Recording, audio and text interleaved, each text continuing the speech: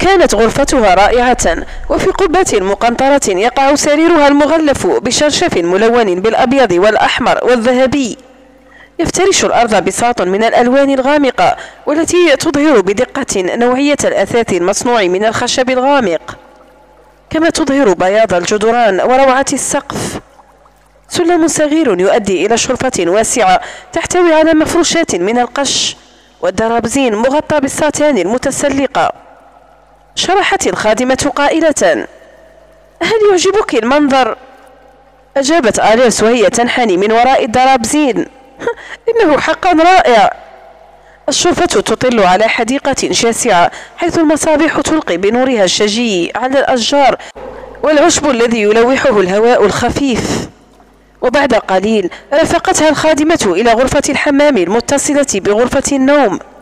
فدهشت آليس لروعة المغطس والمغسلة المصنوعان من البورسلين الأبيض المرصع بالأكاجو وفي إحدى زوايا الحمام سخان ماء حديث الصنع تتناقض مع الشقة القديمة العهد.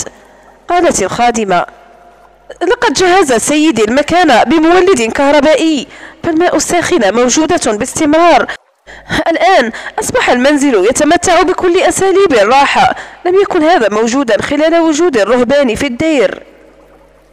كانت الخادمة تحدق بآلاس باستمرار وتتابع قولها. من النادر أن يأتي سيدي بالضيوف إلى هنا. هل بإمكاني أن أسألك يا آنستي منذ متى تعرفين سيدي؟ ليس من وقت بعيد. كيف بإمكانها أن تقول للخادمة بأن سيدها خدرها وخطفها وجاء بها إلى هنا على متن باخرته؟ هي بنفسها تجد صعوبة في تصديق ما حصل في الواقع. قالت كاترين بنظرة غريبة. أحب أن أريك شيئا يا آنستي إذا تفضلت وتبعتني أعتقد أن ذلك قد يثير اهتمامك. ابتسمت آلات بمضض وأجابت بالطبع. تبعت آليس الخادمة في ممر واسع مضاء بالمصابيح الكهربائية والمعلقة على الجدران وثريا كبيرة نحاسية معلقة على السقف فوق بئر السلم. في آخر الممر توقفت أمام باب كبير وترددت لحظات قصيرة ثم قررت وأشعلت ضوء الغرفة وأشارت إلى آليس أن تتبعها. حبست الفتاة أنفاسها وهي تدخل إلى هذه الغرفة الشاسعة البيضاء والذهبية والتي يتصدرها سرير له قبة تشبه العرش. وينحدر على السرير من قمته وشاح من المسلين الأبيض والمزين بالزهور المطرزة. وفي السقف لوحة جدارية تمثل الحوريات بلباس خفيف. المقاعد معلقة بالحرير الفاخر والكريستال والآنية الفضية تلمع على منضدة الزينة المصنوعة من خشب الورد. قالت آليس وهي تدوس بمتعة على البساط الأبيض السميك والذي يفترش الأرض. هلا هذا الجمال الساحر من ينام هنا يا كاترينا؟ الشبح. أمسكت الخادمة بمعصم أليس وأخذتها إلى الطرف الآخر من الغرفة. أمام قوة في الحائط فيها تمثال ومزهرية ثم كبست على زر كهربائي. فأضيء المكان عن لوحة كبيرة ترمز إلى صورة فتاة واقفة على الشاطئ أمام الصخور والأمواج. الرياح تلاعب شعرها الطويل الأسود وثوبها الخفيف فوق جسم ممشوق ونحيل. كانت قدماها عاريتين تنغرزان في الرمال وذراعها مرفوعة كأنها تشير إلى شخص ما. حدقت آليس بوجه الفتاة في الصورة. لم تكن جميلة بالفعل لكن هناك ما هو مثير في فمها المليء. وشفتيها الحمراوين وعينيها البحريتين ورموشها الطويلة الغامقة. شعرت آليس كأنها دخلت إلى مكان محرم. فغمغمت بانزعاج. من تكون؟ تدعى تمارا إنها لوحة مكبرة لصورة عادية. انظري إلى خاتمها لونه لون عينيها. انظري إلى الدقة في سلسلة يدها الذهبية. يمكننا أن نرى كل التفاصيل حتى الكدمة الصغيرة في قدمها. فتحت آليس عينيها الواسعتين وهزت رأسها مندهشة. فتابعت الخادمة تقول هل تلاحظين هل تلاحظين كم تشبهك؟ أجابت آليس بحدة كلا لكن الشبه ظاهر بوضوح العينان وبشكل الفم وخاصة لون عينيها. لاحظت الشبه في الحال أعتقد لهذا السبب جاء بك سيدي إلى سوليتاريا رددت آليس وهي تهز رأسها كلا هذه الفكرة غير معقولة. أنا لقد جئت إلى هنا لقضاء عطلة صغيرة وهذا كل ما في الأمر ولكي أقوم برسم الجزيرة. أنا رسامة وأنشر رسوماتي في الكتب. ولا يمكنني أن أقيس نفسي بالرجل الذي صنع هذه اللوحة. إنها رائعة لكنني لا أرى أي شبه لهذه المخلوقة بي. أصرت كاترينا قائلة. آه بلى. لكن علينا الخروج الآن من هنا قبل أن يفاجئنا سيدي. أطفأت الضوء فتوجهت آليس نحو الباب وهي ترمي على الغرفة الغريبة نظرة أخيرة وتفكر بأنها تشبه مقبرة حقيقية. ارتعشت ما هذا السرير الفارغ؟ ومن ضدة الزينة لا فائدة لها والخزانة الواسعة والتي تحتل الجدار بأكمله. بحشرية سألت الخزانة هل هي فارغة؟ تريد أن ترى داخلها. فتحت باب الخزانة وحبست أنفاسها.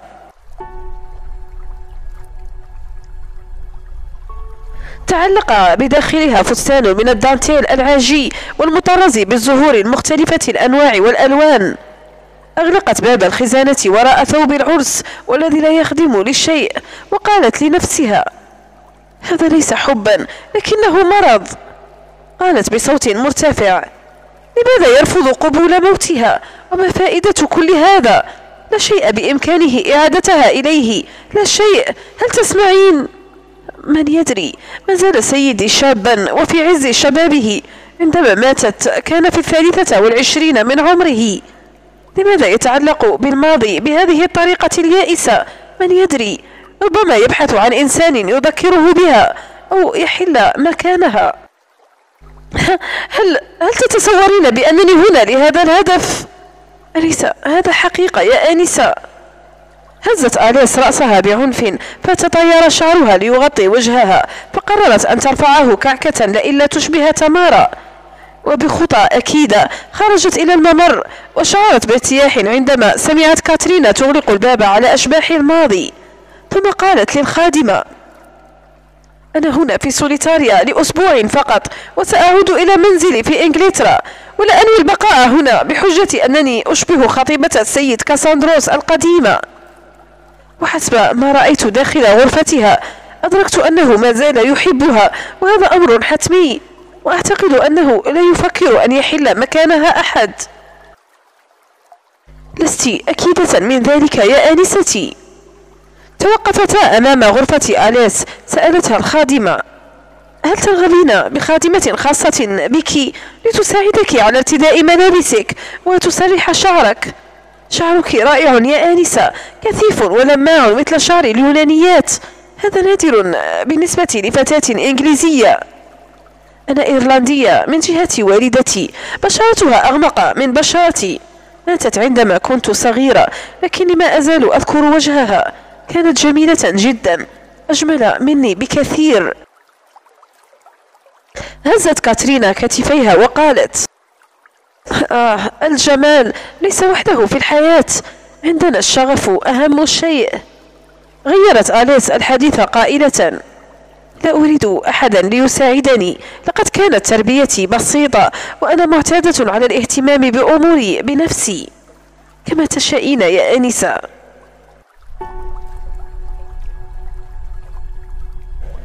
ابتعدت الخادمة ودخلت آليس غرفتها مضطربة لما سمعت ورأت. اقتربت من منضدة الزينة وراحت تتأمل مطولا صورتها لترى ما إذا كان الشبه حقيقيا. كيف ستتخلص من ستيفان متى شاهدها للمرة الأولى؟ مساء أمس فقط عندما دخل إلى غرفة الفندق ورآها في الفستان الزهري والشعر المنسدل. ما الذي خطر ببالها أن تلعب دور مغرية الرجال؟ لما كان لاحظها أبدا. لو كانت رافعة شعرها كعكة ولابسة نظارتها وفستانها الكلاسيكي المزرر حتى العنق. أطلقت زفرة عميقة ونزلت في السرير محدقة في رسوم البساط. هل سيفي ستيفان كاساندروس بوعده ويتركها تغادر الجزيرة بعد أن يتلقى جواب ألبرتا؟ ومطولا راحت تتذكر كل ما حدث على متن السفينة وكل ما سمعته من كاترينا. وانقشع الحجاب شيئا فشيئا وفهمت أخيرا ما الذي كان يميزها في تصرفات ستيفان. نعم رؤية شعرها الكستنائي وعينيها البحريتين إنهما تشبهان عيني تمارا تماما. كل هذا أيقظ عند هذا اليوناني جميع الأحاسيس المكبوتة منذ مدة طويلة. ليست هي من أيقظ رغبته إنما الذكرى الحية لتمارا دفعته إلى أن يضمها من جديد بين ذراعيه. ويعانقها إلى ما لا نهاية. والآن أصبح الوضع أكثر تعقيدا مما كان عليه في البدء عندما كانت تجهل الشبه بينها وبين تمارا لقد وقعت في المصيدة كيف ستتمكن من الخروج من هذا المأزق؟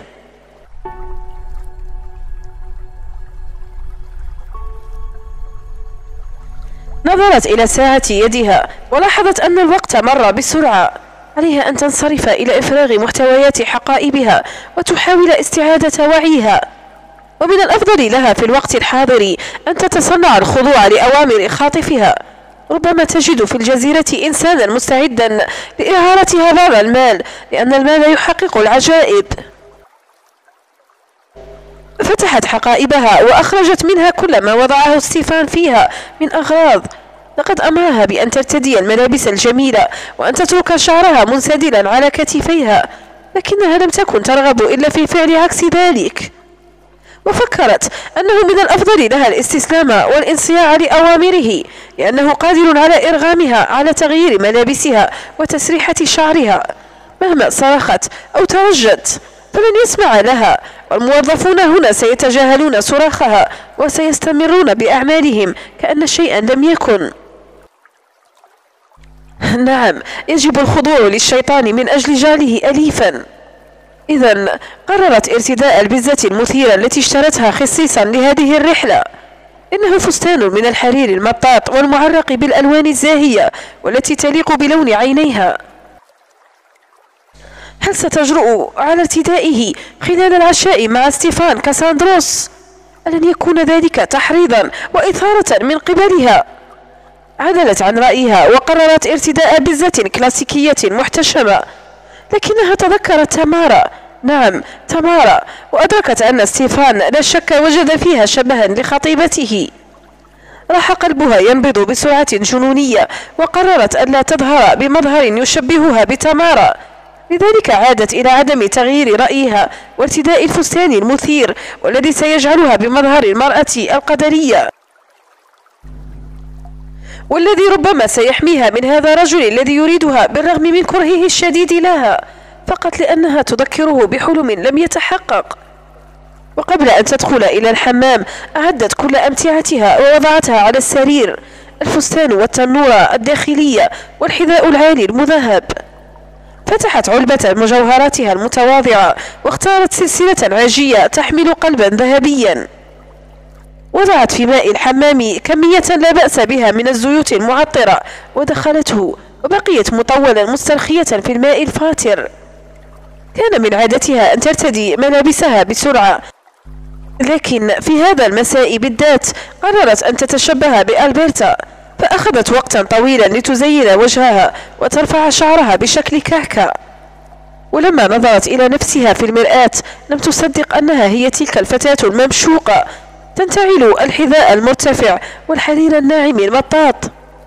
زرعت الغرفة ذهابا وإيابا ثم خرجت إلى الشرفة لتعتاد على المشي في الحذاء العالي. لم يسبق أن كانت جذابة ومغرية هكذا. هل ستجرؤ على الظهور هكذا أو تغير ملابسها بسرعة في آخر لحظة؟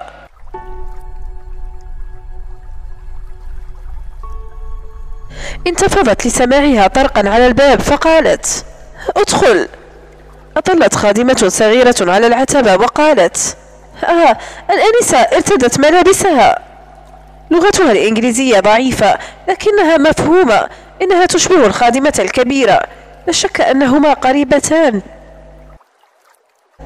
عمتي أرسلتني فيما إذا كنت بحاجة إلى مساعدتي لكن ما دمت مستعدة الآن. سأخذك إلى غرفة الطعام. هذا لطف منك. ترددت آليس لحظة كأنها ترغب في تغيير ملابسها من جديد لكن الخادمة بانتظارها وقالت لها بإعجاب.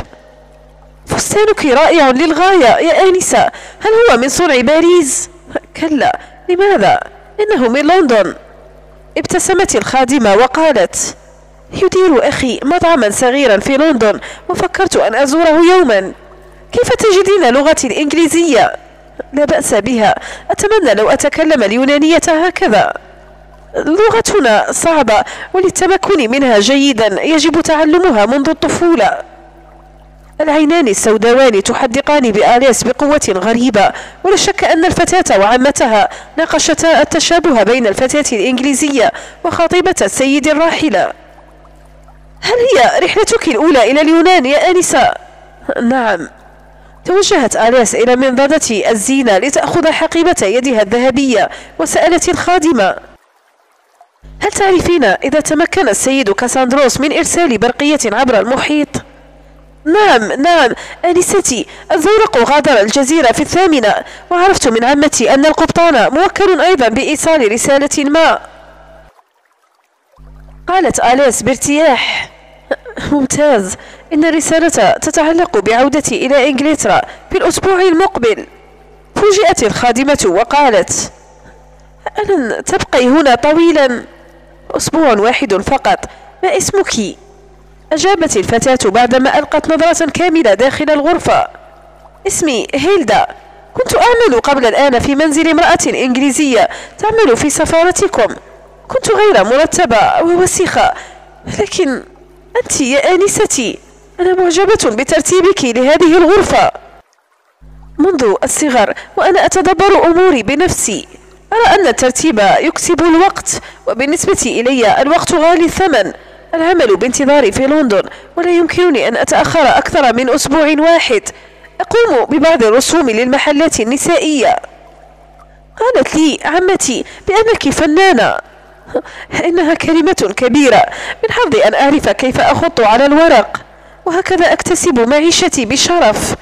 لكن لا مجال هنا للكلام عن المواهب. العبقرية ليست ملك للجميع. اللوحة في الغرفة العاجية. إنها لوحة رائعة. أليس كذلك يا آنسة؟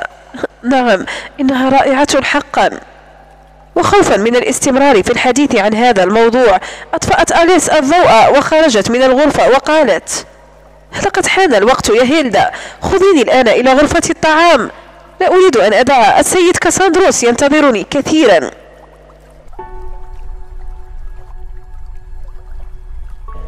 تبعت أليس الفتاة اليونانية وهبطت السلالم الحجرية المضاءة بثريا نحاسية تعود إلى القرن الفائت ثم اجتازت البهو. فتحت الخادمة بابا عريضا ودخلت أليس بعد أن قالت للخادمة شكرا. لم يكن ستيفان في الداخل اختفت الخادمة وتركت الباب مفتوحا. شعرت أليس بالبرد فاقتربت من المدفأة حيث يشتعل الحطب محدثا رائحة حلوة. راح قلبها ينبض بقوة. نظرت بإمعان في أنحاء الغرفة المضاءة بالمصابيح الخفيفة والستائر السميكة تخبئ النوافذ كليا. الكراسي ذات المسند المنحوت تحيط بالطاولة المستطيلة. مزهرية تحمل زهورا تتصدر وسط الطاولة. الأيقونات المرسومة على الخشب تلمع ببطء في الغرفة. بساط سميك أسود وأصفر يفترش أرض الغرفة. في هذه الغرفة الغريبة والرائعة. شعرت آليس بالغربة بالرغم من استلطافها الذوق والجو وأثاثها. شيء وحيد لفت نظرها من بين هذه المجموعة المثيرة هو المصباح. صغير نحاسي كأنه لعبة طفل. هل كان ملك ستيفان عندما كان صغيرا؟ هذا الولد وحيد يتيم منذ الصغر. وهذا الرجل الذي وقع في حب تمارا منذ نهاية طفولته. تمارا. ذكراها ما تزال محفورة في قلبه حتى الآن. فجأة انتابتها ارتعاشة غريبة. إذ ظهر ستيفان كاساندروس. ومن على عتبة غرفة الطعام. كان يرتدي بزة سموكينج عنابية وعقدة فراشة فوق عنقه. تظهر بياض قميصه الناصع. فجأة أصبح جو الغرفة مكهربا. فتقلصت آليس لاقتراب ستيفان نحوها إلى حد اللمس. وهو ينظر إليها بتفصيل في كل أنحاء جسمها أمسك بمعصمها بشدة وقال هذا الثوب غير لائق كليا. إذا تصورت بأنني بحاجة إلى تناول العشاء مع فتاة عصرية لو كنا وحيدين لأمرتك أن تغيري ملابسك في الحال. قالت بصوت متقطع كيف أعرف ما تريدني أن أرتدي؟ أنت الذي طلبت مني ارتداء ثوب أنيق وخفيف. نعم لكنني لم أطلب منك أن يكون الثوب غير محتشم. حتى لو ارتديت ثيابي العادية لوجدت شيئا تقوله. يجب أن تقبل بأنني ببساطة أليس شيلدون ولست واحدة أخرى. الجواب على البرقية سيضع النقاط على حروفها. أرسلتها اليوم بواسطة رسول صديق. سيجلب لك نظارتيك في نفس الوقت. أعتقد بأنك ستحتاجين إليهما للرسم. شكرا. وقال وهو يرفع ذقنها ليرغمها على النظر إليه. انظري إلي جيدا. أنا رجل يوناني ولا أحب أن يسخر مني أحد عمدا. احتجت قائلة. هل طلبت مني أن أرتدي ملابس أنيقة للعشاء؟ نعم أم لا؟ لكنني لم أطلب منك أبدا أن تخلعي ملابسك ولنفرض أنني أعتبر هذا المظهر كدعوة لإثارتي ماذا ستفعلين؟ سيغمى عليك من جديد. احمرت آليس وقالت إذا إذا كان فستاني يصدمك فبإمكاني أن أذهب لتوي إلى غرفتي وأغيره وفي أسرع ما يمكن. سيقدم العشاء في أي وقت الآن. نظر إلى القلب الذهبي الذي يلمع على صدرها وقال بسخرية هل ارتديت ذلك لتغطية قلة حشمتك؟ احمرت آليس خجلا إذ عرف كيف يقرأ أفكارها. كادت أن تسأله إذا كان يأمل بتناول العشاء مع شبح مساء أمس في الفندق وصباح اليوم في الزورق وإذا كانت تذكره دائما بتمارا أما الآن فلا شك أنها شوشت أفكاره وأغاظته. قدم لها كرسيا فجلست وقالت الذي يسمع ما تقوله. يعتبر أنني إنسانة مختلة أو محتالة. كم مرة يجب علي أن أردد على مسامعك بأنني لست إلا فتاة عادية قبيحة لم يسبق أن اهتم بها رجل واحد من قبل. لكن أنا ألا تعتبرينني رجلا؟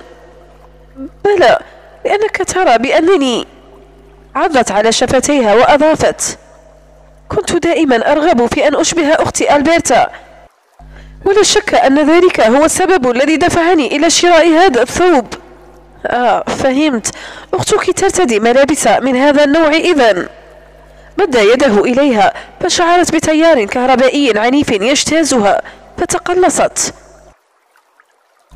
ضحك ستيفان وابتعد عنها ليجلس على الطرف الآخر من الطاولة ثم راح يحدق بها بنظرات مليئة بالحيرة والارتباك. أنت تصغرين أختك بكثير أليس كذلك؟ كلا أنا أكبر منها بسنتين. فهمت منك أنها تكبرك سنا وأنها أكثر عصرية و ابتسمت آليس وقاطعته. أكثر عصرية نعم لا شيء يجمع بيننا. لا من الناحية الشكلية ولا من الناحية النفسية. في الحقيقة كنت كنت دائما أحسدها. فهي تعرف أخذ الأمور من الجهة الحسنة و أصدقك إنها فراشة أليس كذلك؟ وأنت يا أليس من تكونين إذا حرباء تتستر تحت ألوان مختلفة. لست بهذه الغرابة. أبدا أنا فتاة جدية وباهتة جدا. أي أي نقيض أختي كليا؟ ألبرتا تشتم إراديا فوق أقدام الرجال.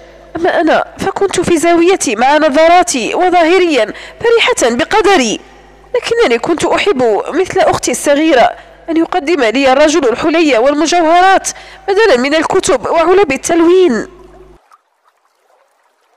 نظر إليها عميقا وسألها قولي ألم تتخاصمي أبدا مع شقيقتك؟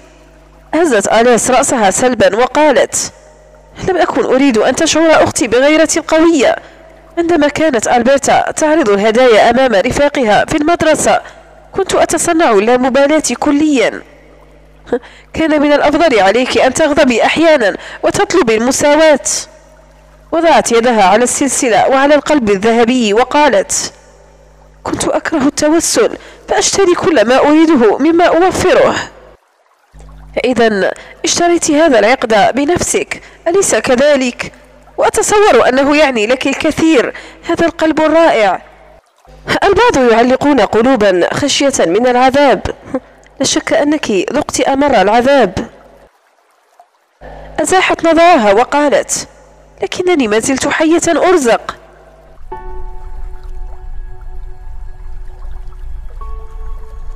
وجد الحديث مدارا غير منتظر فأسئلة ستيفان أحرجتها ووضعتها في موضع حيرة وانزعاج. إنها تكره أن تفضح بما خبأته طيلة حياتها عن قصد. فجأة شعرت بالارتياح عندما دخلت هيلدا لدفع طاولة الطعام. تتبعها كاترينا بثوبها الأسود الأنيق وراحت تقدم لهما العشاء. قال ستيفان آه الرائحة ذكية وعطرة. الخروف طري ولذيذ الطعم يا سيدي. أتينا به من مزرعة أكيلو. على فكرة. قال لي أنه منذ قليل أن الكلب الكلب المتوحش ما زال يحوم حول خرافه. وإذا لم تتوصل إلى قتل ذلك الحيوان المفترس أخشى من حدوث كارثة مؤلمة. سأتصل به وأحدثه عن هذا الموضوع. أخبريني ماذا حل بالتحذيرات الخاصة بزواج ابنته؟ حسب ما سمعت المزرعة أصبحت مكتملة والأعمال تجري بجنون. الخياطة مستمرة ليلا ونهارا والطبخ أيضا.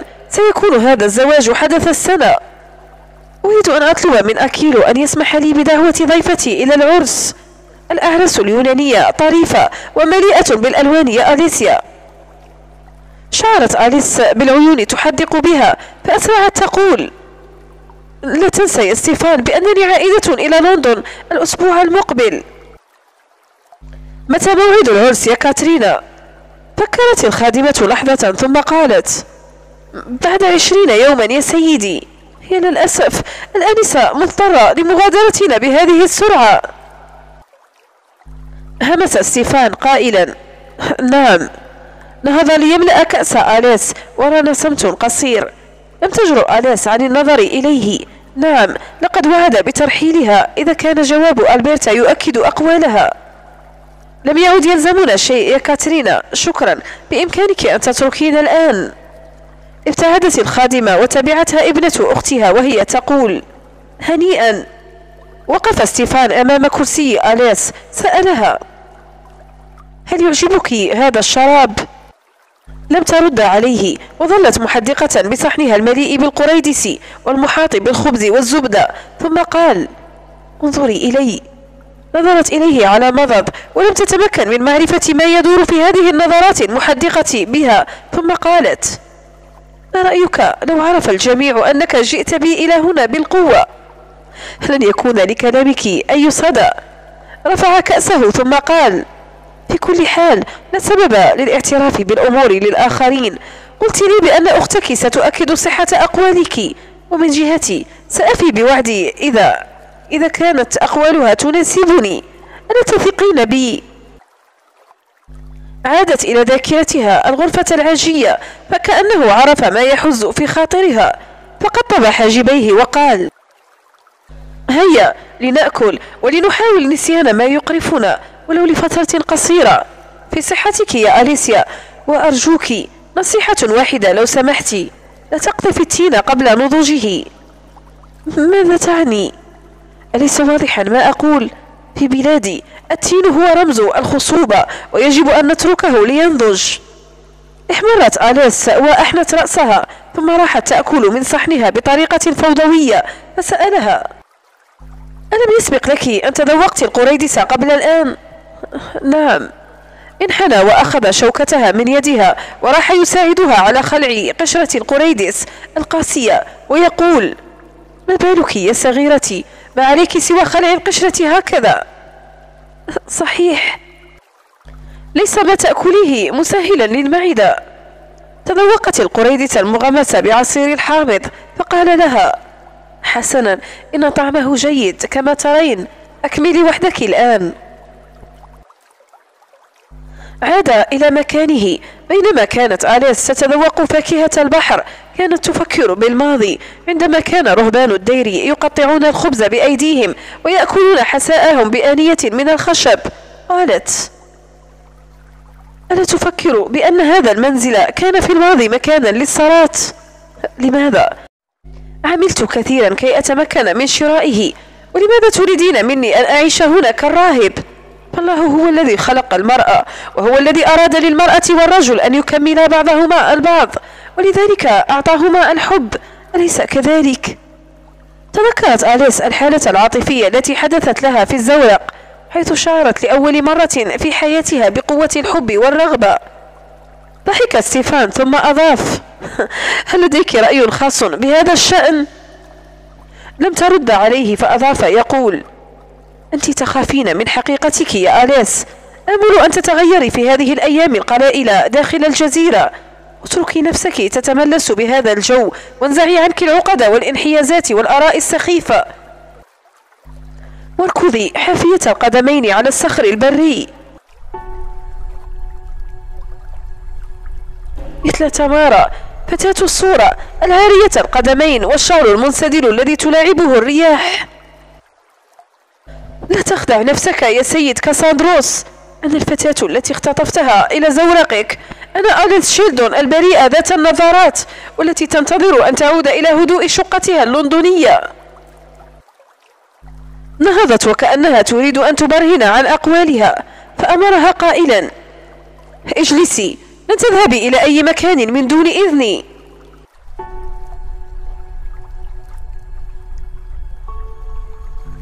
كيف تتمكن أليس من تدجين هذا النمر الهائج؟ إنه يرى فيها صورة سواها وهذا وحده يكفي لإشعال غضبها وجنونها. إلا أن مشاعر أخرى آخذة في النمو في قلبها تخيفها أكثر من أي شيء آخر.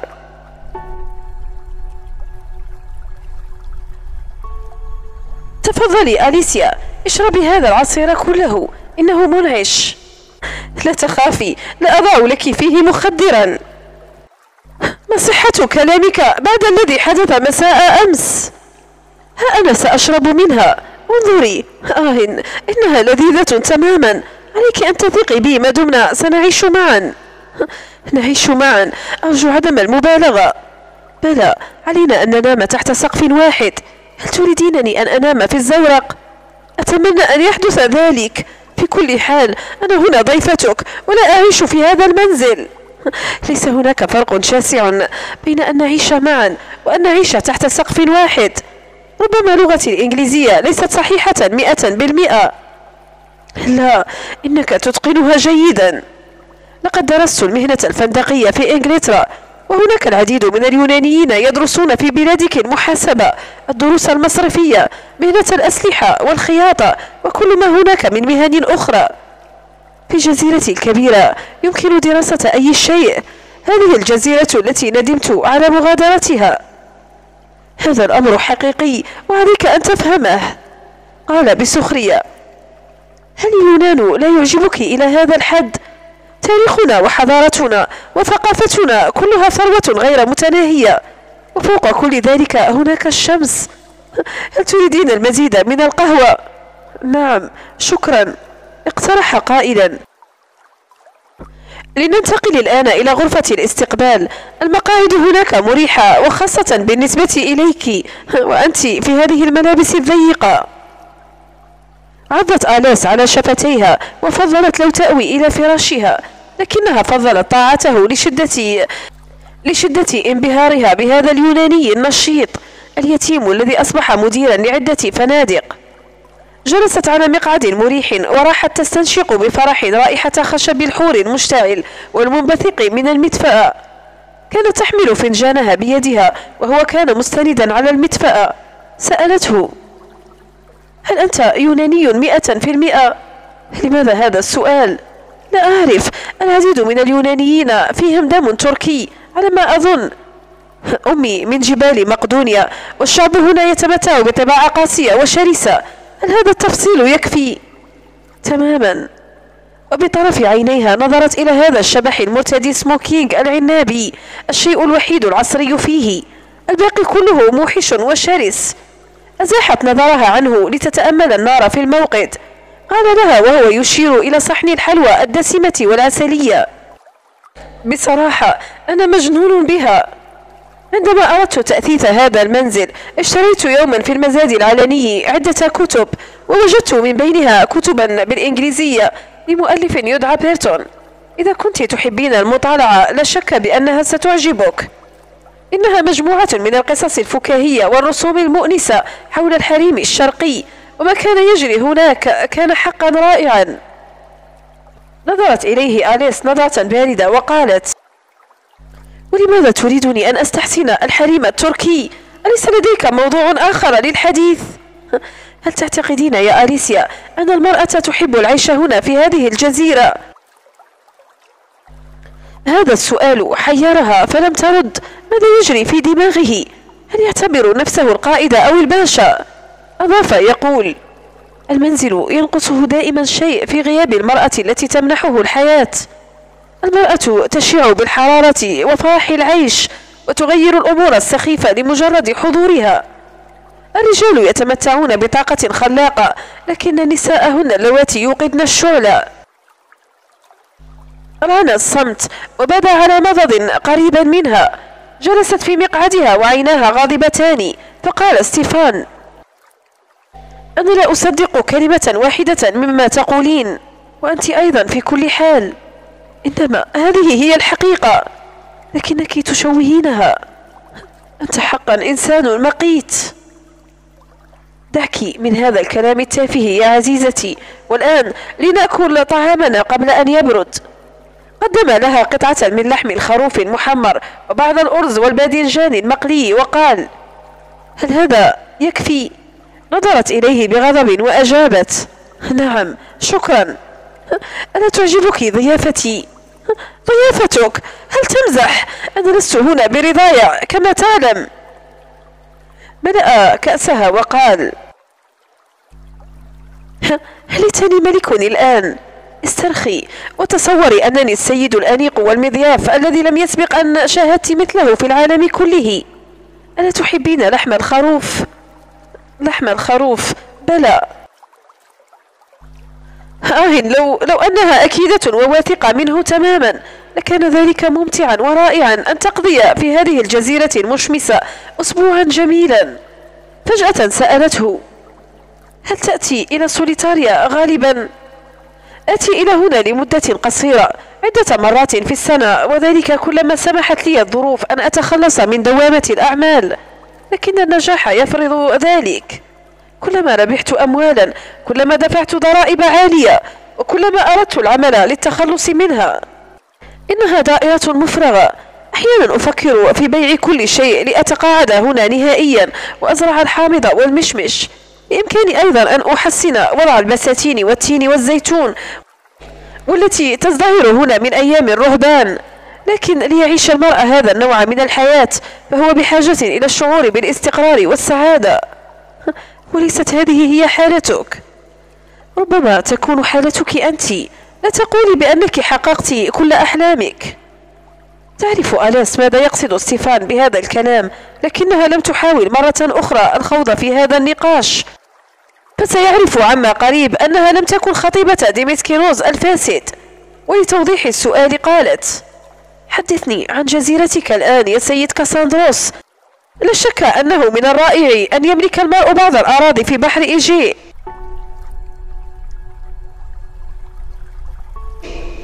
وحتى نهاية العشاء دار الحديث عن سوليتاريا وما يمكن للجزيرة أن تقدم من تسليات السباحة شرط تحاشي الأماكن الخطرة. حمامات الشمس تسلق الصخور لنزهات بين أشجار الزيتون والصنوبر والحور تحت السماء الزرقاء. كان يصف جزيرته بشوق وحنان وتمنت آلاس لو لم يكن استيفان قد خطفها بل لو كان صديقها لدعاها لقضاء عطلة جميلة في جزيرته الساحرة.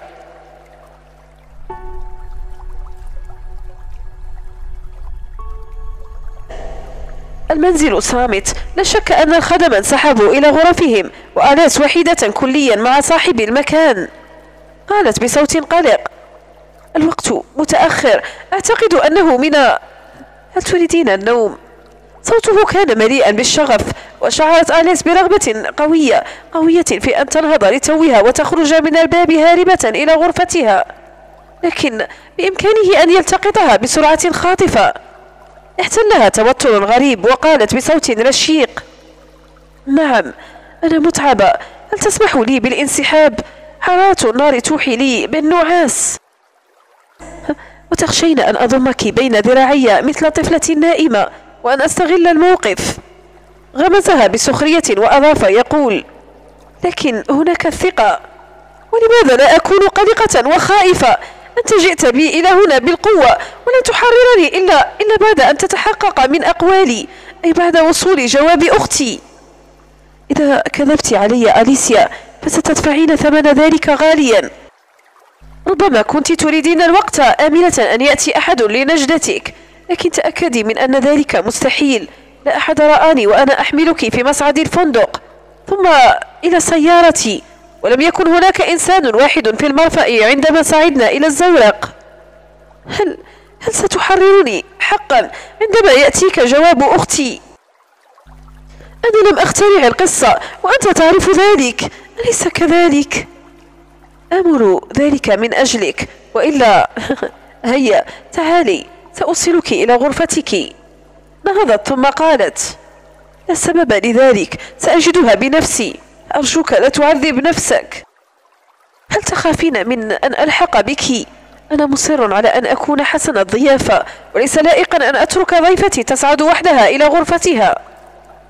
ارتجفت آليس عندما لمست أصابع ستيفان ذراعها وهو يقودها إلى خارج الصالون. مصباح البهو كان مطفأ فقط المصابيح الجانبية تضيء بلمعانها خافت كثيرا على السلم وحين وصلا أمام باب غرفة آلاس توقف ستيفان من دون أن يتركها ثم قال أتمنى لك ليلة سعيدة. آمل أن يكون سريرك دافئا وعطرا كما أوصيت خادمتي بذلك. كما آمل أن لا تشعري بالوحدة كثيرا يا أليسي الصغيرة. وللحظة قصيرة اشتبكت نظراتهما.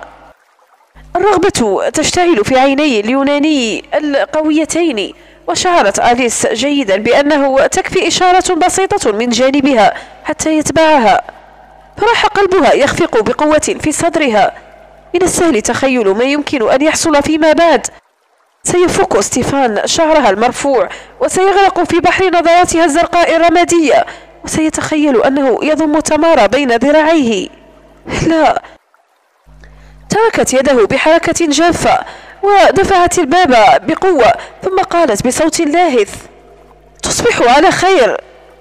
ثم أغلقت الباب بعنف واستندت وراءه وقلبها يخفق بجنون وقدماها ترتجفان وخلف الباب سمعت أنفاس ستيفان المسرعة المهم أن يرحل من هنا.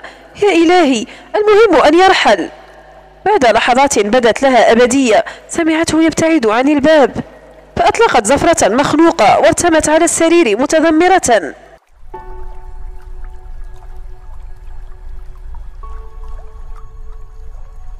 حياتها الوحيدة الخالية من الحب. لم يسبق أن أعدتها لمثل هذا النوع من الوضع المعقد. ألبرتا لو كانت مكانها لتصرفت حسب ما تقدم لها الظروف. أما أليس فجن جنونها. ولسبب واضح ومعين لأنها رأت فجأة في عيني ستيفان شعورا بالضيق ونوعا من الاستغاثة. أوشكت لثانية أن تضمه بين ذراعيها كأم تواسي ابنها. نسية أنه جلادها وأنه يريد فقط أن ينتقم منها. يا إلهي ماذا جرى لها؟ ما هذا الانجذاب الحسي الذي كاد أن يرميها بين ذراعي خاطفها؟ تجتاحها الآن عاصفة من الانفعالات المعاكسة والتي تنبع من دمها لتنصب في عروقها وكل أنحاء جسمها الملتهب. نزعت الدبابيس من شعرها وتركته ينسدل فوق كتفيها. لم يسبق أن رأت من قبل رجلا تنبع منه رجولة قوية هكذا. أين تلك الفتاة الصغيرة الطاهرة والتي ترعرعت في ضباب إنجلترا؟ من هي تلك السجينة الوحيدة ضحية انفعالات لا تجرؤ على وصفها؟ هل هذا هو الحب؟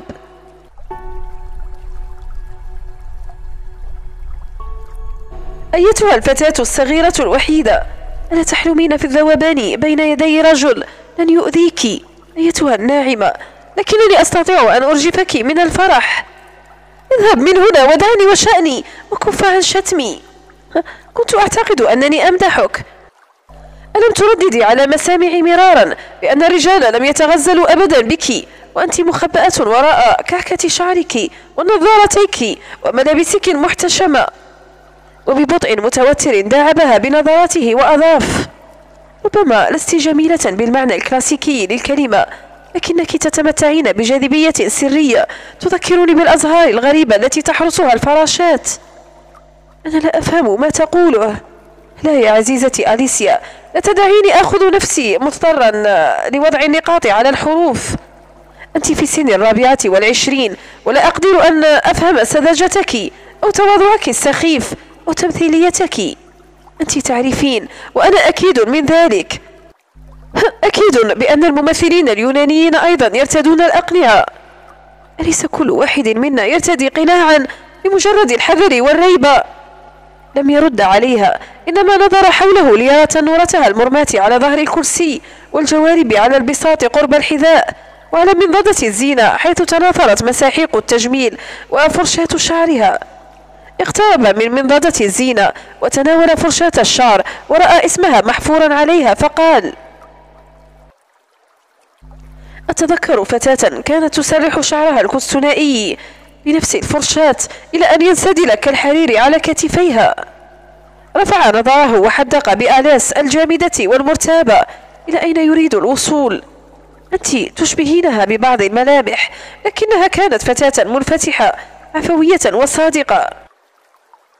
أنا أنا أكيدة أنني لا أشبه أبدا الفتاة التي أحببتها. لا شك أن خطيبتك كانت يونانية مئة بالمئة. أما أنا فإنني عانس إنجليزية محض. هز رأسه وقال كلا. اقترب منها خطوة وغريزيا رجعت إلى الوراء فقال بقميص ذي أكمام واسعة وتنورة محزمة وشعر منسدل صرخت بقوة لا أنا لست تمارا دعني وشأني. أنا أليس شيلدون ولست واحدة أخرى. لا تطلب مني أن أبعث شبحا. دعني وشأني وإلا سأصرخ.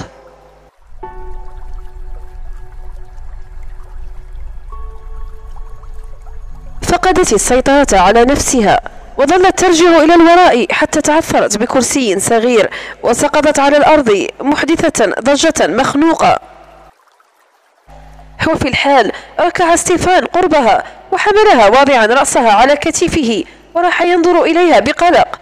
كانت غائبة عن وعيها فقال لها لقد أذيت نفسك أيتها الحمقاء الصغيرة. وبصوت مرتجف ومتقطع قالت لقد لقد أخفتني. تصورت أنك تمد يدك إليها. إلى تمارا أعرف أنك حزين لفقدانها لكن ما ذنبي أنا؟ فأنا لا أستطيع بعثها من أجلك. لا يمكنني إلا أن أكون نفسي. أنا لن تكوني. أليس كذلك؟ بنعومة راح يدلك الكتف التي سقطت عليه. كانت يده ساخنة وقوية على بشرتها وهي تشعر بين يدي ستيفان بأنها امرأة مليئة حرارة وحياة. وضعها على السرير وانحنى فوقها واضعا أصابعه في شعرها ومحدقا مطولا في وجهها القلق. واجتاحتها رغبة قوية في أن تضع ذراعيها حول عنقه وتضمه إليها. يا إلهي أصبحت حقا مجنونة. لا تريد أن تتصرف مثل ألبرتا التي التي ما عرفت في حياتها الفرق بين الرغبة والحب. تراجعت قليلا فنهض في الحال ونظر إليها وسألها في حيرة. من أنت يا أليسيا؟ تريدين الزواج قبل أي شيء؟ أليس كذلك؟ وقبل أن يتسنى لها أن ترد عليه أدار ظهره وفتح الباب بعنف. تردد لحظة على العتبة ثم اختفى من دون كلمة صافقا الباب وراءه.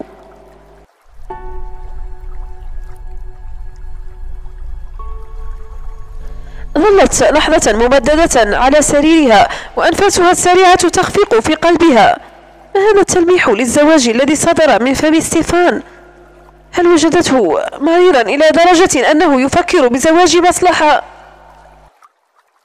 الزواج من ستيفان كاساندروس.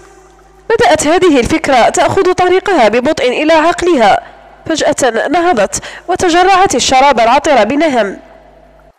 ثم وضعته من جديد على الطاولة؟ وهناك لاحظت كتابا فتحته كان عنوانه الحريم لبورتون. راحت تقلب صفحاته ببطء والدم يرتفع إلى وجهها وهي ترى الصور في داخله. إنها رائعة وغزلية حتى الجنون. وبحركة جافة أغلقت الكتاب ووضعته على الطاولة ثم تمددت في سريرها وقلبها ينبض بانفعال رهيب.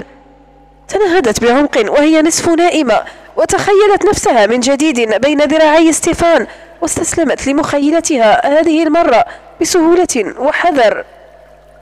you